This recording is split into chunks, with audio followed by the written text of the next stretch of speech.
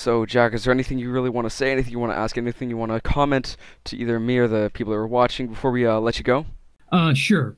There's uh, one pretty big story that's not really gotten the press that I feel it deserves, and so I'd like to tell that today. Oh, go uh, ahead, man. Regarding the back door of 2016.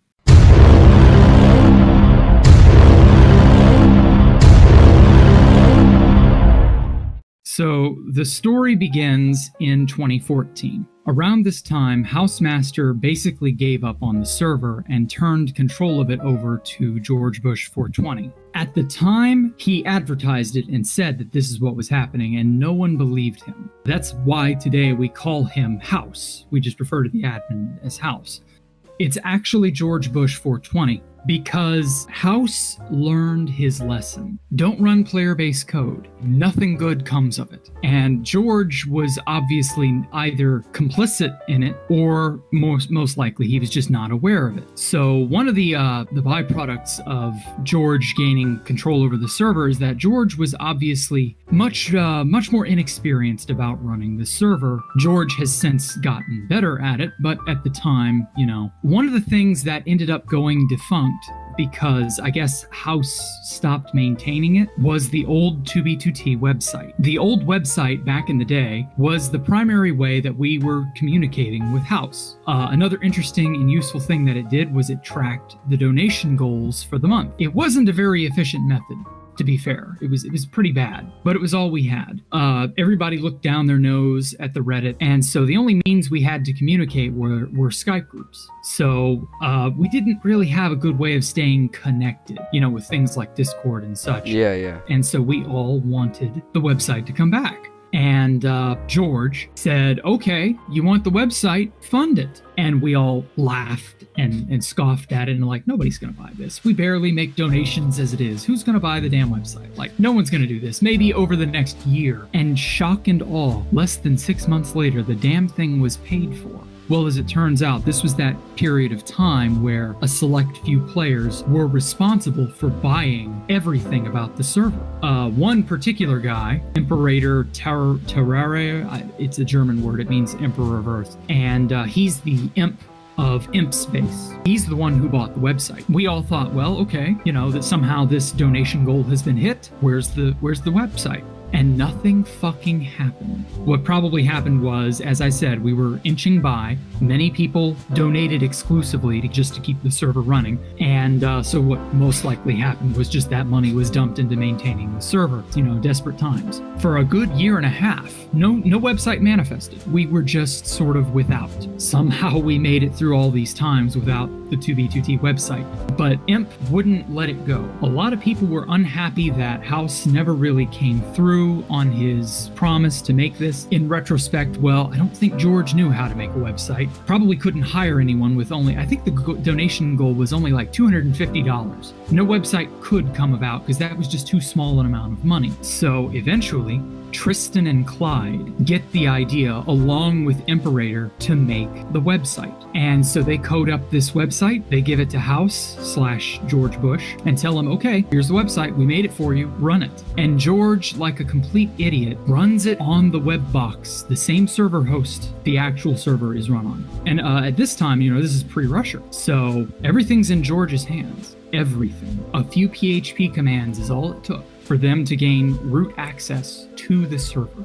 Uh, and, we're else? talking about Nerds Inc., right? Yeah, Nerds Inc. Okay. Uh, this is the formation of Nerds Inc. Gotcha. Pretty much. Like, this was the sole reason for Nerds Inc. coming into existence. You know, Talo, Tristan, Clyde, and Jared were the ones primarily doing it. One of the big problems we ran into initially was that they knew where our beds were. They left withers at our beds. They could tell you your join date. They could do all sorts of shit. Uh, in Fr1kin's interview, I, I listened to it about a week ago, and he said Talo could restart the server. Well, of course he could restart the server. He had root access. I was not happy that this was going on, and so I raised the alarm, and then Sato raised the alarm, and then Yellowstone Joe raised the alarm, and it caused all this drama. And that's what led to the emptying before Russia and the Oh formation of Constantiam as a Oh. result. The big plan, from what I understand, was to make all of these stashes and have secret bases and illegal items and all sorts of shit at these locations. And we know for a fact at least one of them came about because of this. The infamous 32K stash that Kane's Law and I ended up going to, the source of all 32Ks, was one such stash. We suspect they had more, but we don't really know. Um, during all of this drama, we raised the alarm and of course, all the people who were like, oh no, you're just paranoid. Well, all the people saying that were all the people involved. We knew who the culprit was. So James Russell's and Kane's Law, and I believe Yellowstone Joe, started pawing through Tristan's GitHub. And that's when Kane's found the region files. Well, that's how they got all this shit on 2B2T they just uploaded region files to the server. And that's how all these crazy illegal items came about. Enchanted glass, 32Ks. And so yeah, oh, barriers. That was it. That was the big tip off that this was wacky, was that there were barriers. A 1.8 item. The excuse that Tristan used, because we had irrefutable proof that barriers existed, was that, oh, well, they just spawned in items in 2013 with unused item IDs, so that as the versions changed, these item IDs would then coincide with actual items. Sounds good on paper and is technically reproducible. Yeah, you could do that. Except Yellowstone then went out to this stash and found it was new terrain. Shit that didn't exist in the ground in 2013 when they claimed to have made this, that would be in the ground in 1.8. And the other really big tip off was that this was on the heels of the lands grief. And all the while, Bran was like, Oh, don't worry, Jack. I can get it put back on the server. Don't worry, Jack. The lands will be okay. And I'm like, What the fuck are you talking about? What do you mean you can get it put back on the server?